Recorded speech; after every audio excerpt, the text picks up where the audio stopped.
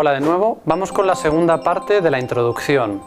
En esta, en esta parte vamos a, terminar lo que hemos visto sobre, sobre el lenguaje y a, y a rematar los conceptos esenciales. Nos queda por ver los signos, los signos en general y más concretamente el signo lingüístico y la competencia comunicativa, es decir, al final, qué es lo que vamos a ver en, los siguientes temas y cuál es el objetivo de la asignatura. Los signos. El signo es la unidad de comunicación. Hemos visto que uno se puede expresar de muchas maneras, es decir, hay signos, habíamos visto pues en, en la danza, en la pintura, en otras expresiones, pero nosotros queremos el signo lingüístico y es importante, como vemos, porque se refiere a otra cosa, que era lo que veíamos en la primera parte. Se refiere a algo que no es el lenguaje, que expresa algo acerca del mundo, acerca de nosotros.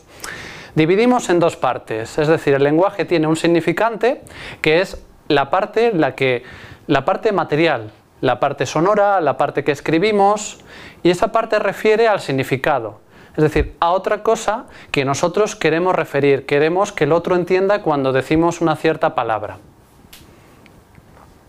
Por ejemplo, en este caso, pues el significante mesa con sus letras se refiere al objeto que vemos en el significado. Es decir, yo digo mesa y todos pensamos pues, en el objeto, ¿no? con su tablero, sus patas,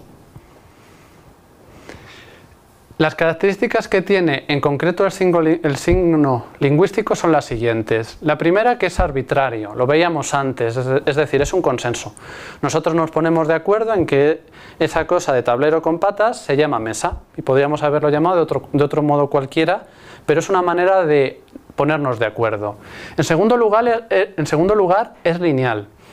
Se lleva a cabo por una sucesión de sonidos, de letras, de palabras, es decir, por un comienzo y un final que vamos leyendo pues de izquierda a derecha, de arriba a abajo. Asimismo, es mutable. El lenguaje cambia a lo largo del tiempo. ¿no? no hablamos ahora igual que en el siglo de oro, no hablará la gente en el siglo XXIII igual, porque el lenguaje tiene una evolución y además tiene un valor determinado. Vale, tenemos eh, una serie de niveles lingüísticos en los que vamos a insistir mucho, es decir, vamos a verlo en varios temas, porque el objetivo es sobre todo eh, manejarlos muy bien y ver que tenemos que trabajarlos en cualquiera de las subcompetencias que vamos a ver en los siguientes temas. Vamos a verlos, a mí me gusta pensar en el lenguaje como un puzzle, desde las piezas más pequeñitas que se van juntando para hacer un, un modelo grande. ¿no? La más pequeña o al menos en la manera en la que nosotros vamos a irlo organizando, es el nivel fonético. Es decir, en un primer momento, fonético y fonológico, en un primer momento las cosas de lingüísticas responden a un sonido y, a una representación que hacemos del mismo. En, este, en este aspecto podemos diferenciar la realización, es decir, el sonido que oímos, con el modelo ideal que luego hacemos, la teoría que luego se elaboran los lingüistas al respecto.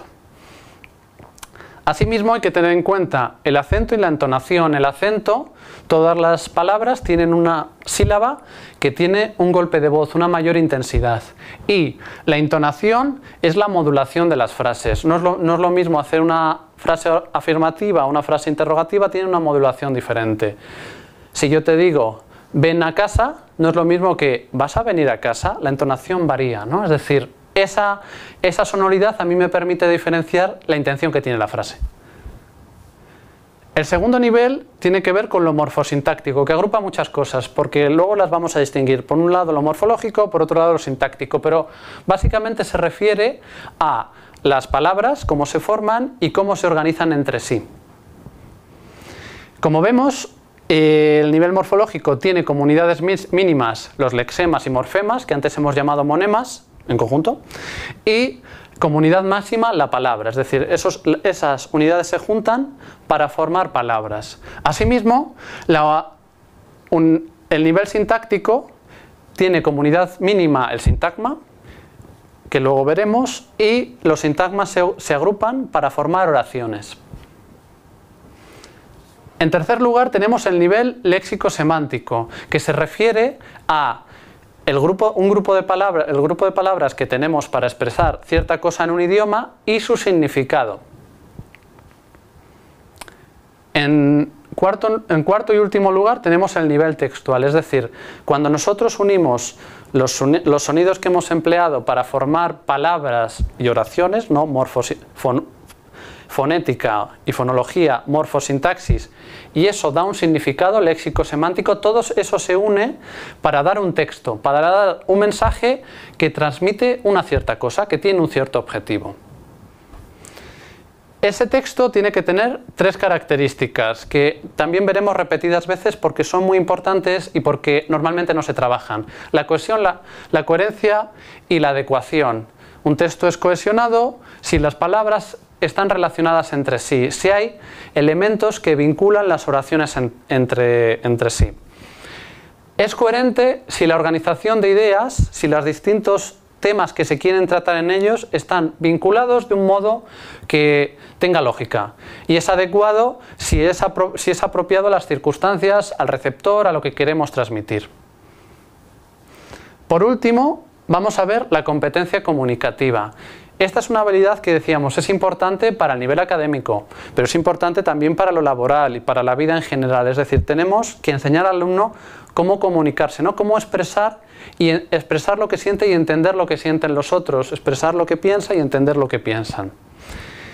Tenemos una primera definición que es la competencia, que se refiere a un sistema de reglas que nosotros interiorizamos, es decir, nosotros sabemos español porque lo hemos hablado mucho y tenemos de una manera implícita o más explícita que lo hayamos estudiado eh, con reglas gramaticales, sabemos hablar una cierta lengua.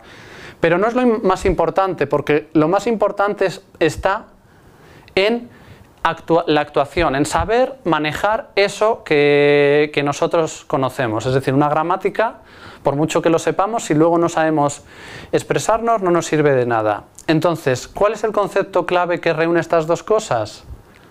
La competencia comunicativa. Es decir, cuando integramos las dos, tenemos un proceso comunicativo efectivo. Nosotros al alumno tenemos que transmitirle que los contenidos gramaticales necesarios no, no porque se los sepa de memoria, sino para luego poder utilizarlos, para que después sepa emplear las, las, subcompetencias que vamos a ver en el siguiente tema de una manera efectiva. Estas son las cuatro. Las vamos a ver cada una en un tema, ¿no? Entonces, eh, vamos a intentar con esto abarcar todos los procesos comunicativos que pueda haber. Y con esto terminamos el tema de introducción y en el siguiente vamos a ver ya, a empezar ya a ver las subcompetencias.